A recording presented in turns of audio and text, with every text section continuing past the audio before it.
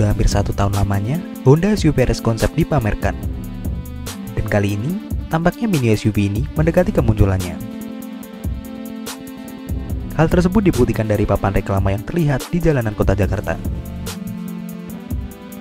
Dalam papan reklama tersebut, disebutkan bahwa Honda telah memberikan kode keras tentang kehadiran model terbarunya ini. Di papan reklama tersebut, terdapat tulisan Wheeling Soon dengan gambar sebuah siluet Honda SUV RS konsep tersebut.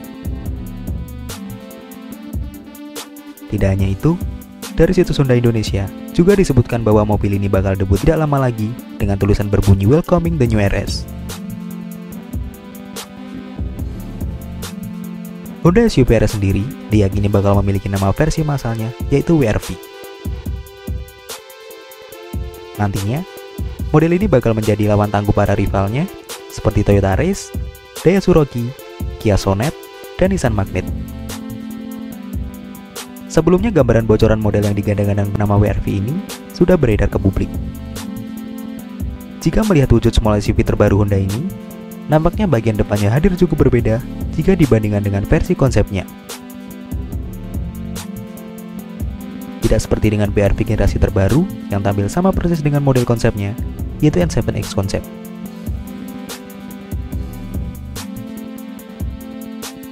Dari paskiannya, ada beberapa detail yang menarik. Seperti lampu utamanya bakal menggunakan LED dan desainnya seolah mirip dengan Honda SRV terdahulu.